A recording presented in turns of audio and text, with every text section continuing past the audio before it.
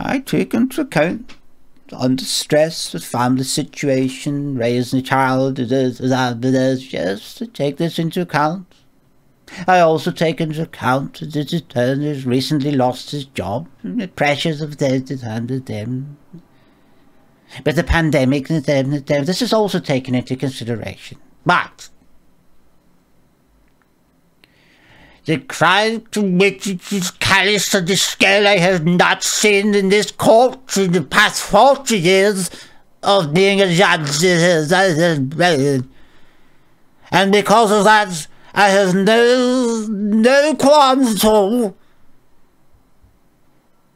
The sentence is a minimum tariff of 25 years with no chance of parole.